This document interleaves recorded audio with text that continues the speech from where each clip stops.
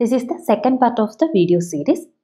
And in this part, we are discussing January 2019 current affairs from the topic Environment, Energy and Ice. The selected topics are NCAP, National Clean Air Program, ECBCR, Energy Conservation Building Code Residential, COP20, CPS, Cyber Physical System. Let's go to the first topic, NCAP. The news was that government launches National Clean Air Program with a target of 20 to 30 percentage reduction of PM 2.5 and PM 10 concentration by 2024. The base year is taken as 2017.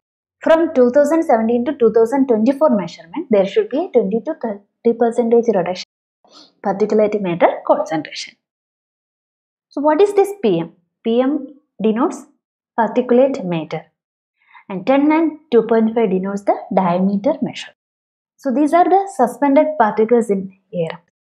If the median diameter of the particle are less than 10, they are classified as PM10. So, if the median diameter of the particles are less than 2.5 micrometer, they are called as PM2.5.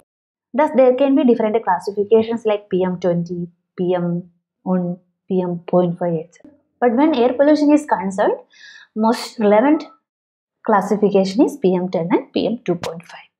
So, making it more clear, if the size is between 10 and 2.5, we will call it a coarse particle. From 2.5 to 0.1 micrometer, they are called fine particles. And if it is less than 0.1, they are called ultra fine particles. You will be familiar with the size of grain of sand or grain of sugar. It will be around 300 micrometer in diameter. So now we can imagine how small will be this PM210 and PM2.5. Nowadays, different studies attribute the particulate matter as cause of many pollution related death. PM10 can reach our lungs. It can reach the airways, it can reach the lungs and it will get deposited there. So it causes different respiratory illnesses like asthma, bronchitis, etc. PM 2.5 is more dangerous because it can penetrate the lung tissues and enter the bloodstream. So it can reach the different organs. These are particularly toxic if they are containing heavy metals like mercury, cadmium, etc. They will be causing cancer, mutations, etc. So they are fatal. Fatal means they can lead to death. They are mainly dust blown by wind from agriculture, road, construction, and also from vehicle emissions.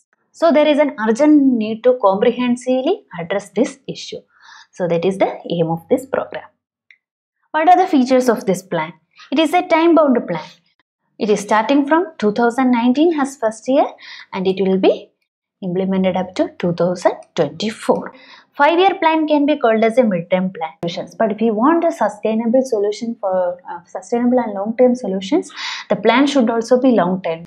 There is vision to enhance this plan further to long-term targets. It is a single strategy, but it is implemented all over India. That is pan-India implement. It is dynamic. Dynamic means it will continue to evolve based on the additional scientific and technical information available. So in terms of technical standards or implementation standards, it is not rigid. It is implemented in 102 non-attainment cities. So totally 102 cities are selected across different states. What are these non-attainment cities? They are cities which are consistently showing poorer air quality than the national ambient air quality standard. The data from the cities are monitored and those cities which are consistently in poor air quality side are selected for implementing this program. So already these cities have prepared action plans in, consulted, in consultation with Central Pollution Control Board. After the news of launching the National Clean Air Program, there was a news Environment Ministry has constituted the committee to implement the National Clean Air Program. It is com- consists of experts from industry and academy and IITK professor is included and different ministries, Ministry of Transport, Ministry of Petroleum, Ministry of Energy, Ministry of Heavy Industry, Housing, agriculture, health. So different ministries which are stakeholders in its implementation and included in this committee. Uh, also Niti Aayog and Central Pollution Control Board are included. According to the Air Prevention and Control of Pollution Act of 1986, CPCB is the authority which is given power to execute the programs related to pollution. If we examine the last year question, we can see questions regarding environment pollution. Example in 2018, the question was about environment pollution. This including nuclear explosion, earthquakes, acid rain, air pollution. So there can be direct question on the particulate matter pollution also. So apart from this, we have pollution control questions from water pollution. Water treatment related questions were there in 2017 ESE. And air pollution related question, Venturi scrubber was there in 2019 ESE. And apart from this, there are questions on policies of the different departments. So in terms of both the policy side and the pollution side, this news is relevant. So I have framed a question relating particulate matter. Consider the following statements concerning air pollution. Particulate matter is a major environmental issue. Yes, it is. Volcanic eruptions can produce particulate matters. Yes, it is. Volcanic eruptions eject an enormous quantity of dust into the atmosphere. So this statement is correct. PM10 is more dangerous to health than PM2.5. This is wrong because PM2.5 is more dangerous than PM10 because it can enter our blood tissues also. Fourth, India is yet to enact a national plan to curb the PM pollution. So this was, we are reading in the news, we have seen that India has come up with a plan and has come, constituted a committee to implement it also. So from the options, the correct answer is A.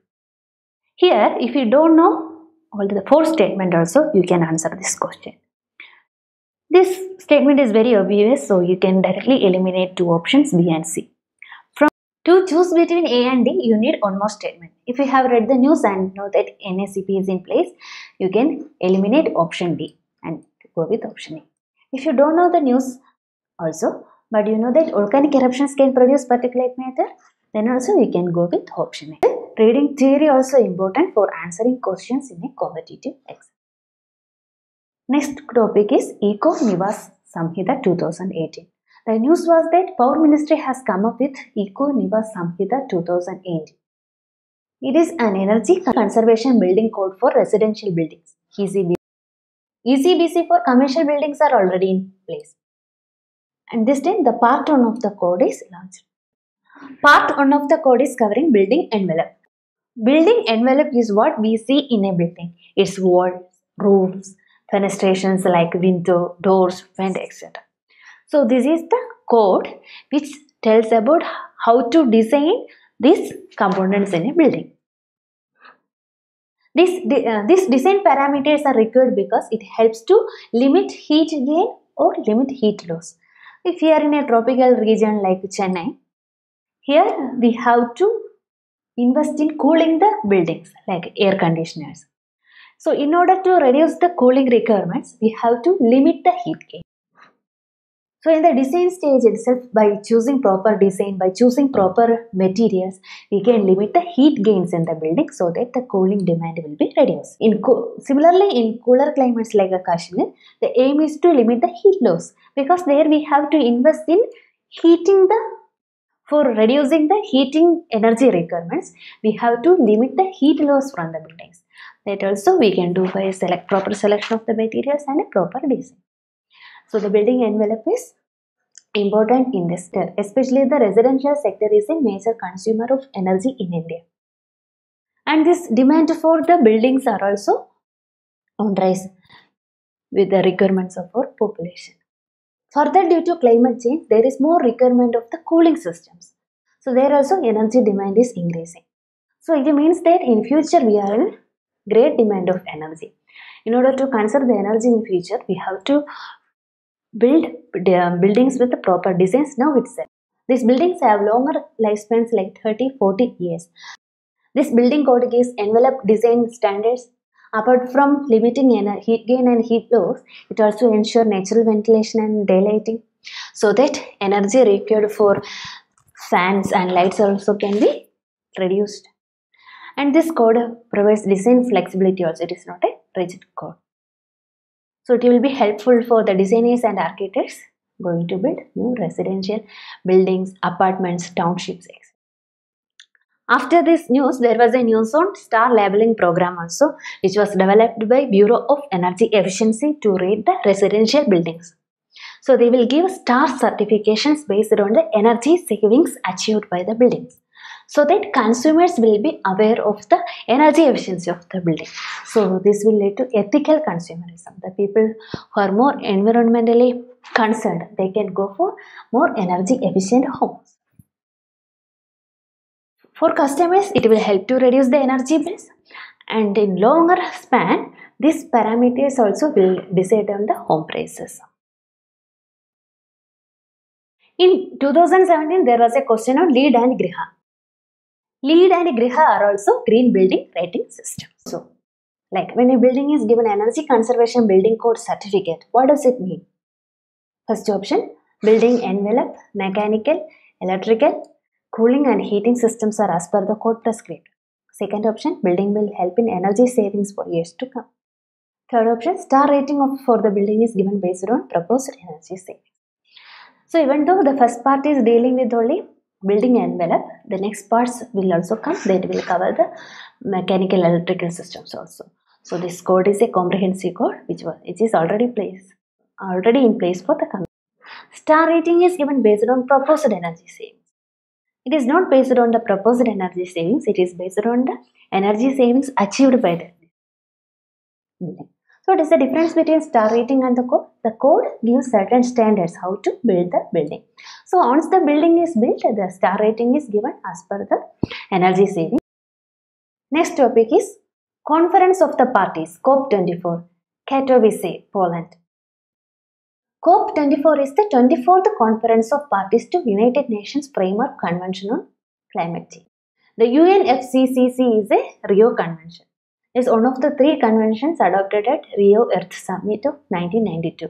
Other two were the Convention on Biodiversity and a Convention to Combat Desertification. UNFCCC is concerned with the climate change. Its aim is to prevent the dangerous human interference with the climate system. It is particularly concerned with the emissions, human-made greenhouse gas emissions, which is responsible for global warming. The aim is to prevent further rise in the global temperature. The countries who have ratified this convention are called parties to the convention and the meeting of the parties is called conference of parties and it is the supreme body to make different decisions. So we have seen major outcomes of the COPs like Kyoto Protocol, Paris Agreement, etc. So these parties will be meeting once in a year. So this year 24th conference was held. If you see last year question in 2017 there was a direct question on Rotterdam Convention. Thus this news is what were the major decisions in this conference? Some of them were partnership for electromobility and zero emission transport. That is therefore to reduce emissions from the transport sector. Silesia Declaration. Development should be economically, socially, environmentally and climatically responsible. And there was a ministerial declaration of forest for climate. Forest is a major carbon sink. It will help you to remove carbon dioxide from the atmosphere and uh, store it away from the carbon cycle, which will help to reduce the global warming. One possible question can be the direct question on UNFCCC. Easy question. It is concerning the climate change. Other things are also part of Rio Earth Summit, but they are dealt in different conventions. Next topic is Cyber Physical Systems or CPS. Cabinet approved the launching of National Mission on Interdisciplinary Cyber Physical Systems NMICPS which is to be implemented by Department of Science and Technology for a period of 5 years. This is a national mission launched by the national government where Department of Science and Technology has to implement it. As per this, DST has launched a new program, Interdisciplinary Cyber Physical. CPS as the name indicates, it is an interconnection between the cyber world and the physical world. Physical world is where we are doing all the activity and cyber is the space where the computation and communication takes place. If we integrate these two systems, there will be more coordination and more control on the activities. And IoT is also a similar concept where we are connecting different devices which enable it to be controlled remotely. If we examine the previous year questions in 2017, there was a question on Internet of Things. And as we discussed before, government policy is also important, especially if it is related to the technological side like digital. So there can be a question on the national mission of CPS also. What is the difference between CPS and Internet of Things? CPS is a physical and engineered system. It is more concerned with the engineering behind the system. And computing and communication are the core. So the focus is on the computing and communication part of the system. It is more sophisticated. But whereas in IoT, the concentration is on the devices, the end devices, and their connectivity. How to connect the computation and the physical world more tightly is the question. But IoT is concerned with bringing in more and more devices into the network. Almost everything around us into the network. Uh, CPS not necessarily connected with the internet. It may be an individual system also like smart electricity where it will be needing the smart meters, the grid connection and the control center. There is no role of internet here. But in IoT, internet is an integral part. All these devices are connected through internet in IoT. There is a major difference. About National Mission on Interdisciplinary Cyber Physical System. It is to address different aspects like technology development, application development, human resource development, skill enhancement, entrepreneurship, startup development associated with the CPS and CPS technology. It envisages a hub and spoke model where these innovation centers, innovation hubs will be there. It will be connected to higher educational institutions, it will be connected to industry and it will be uh, connected to different government institutions. This is the model which is to be implemented by this mission. Here also there can be different types of questions like regarding the mission, regarding the technology. Here I am discussing on question about the technology that is cyber physical system. What are the CPS? CPS are integration of computation networking to control the physical process. Yes, if you have read this news, you can understand that CPS has emphasis on em embedded system and their internet connectivity.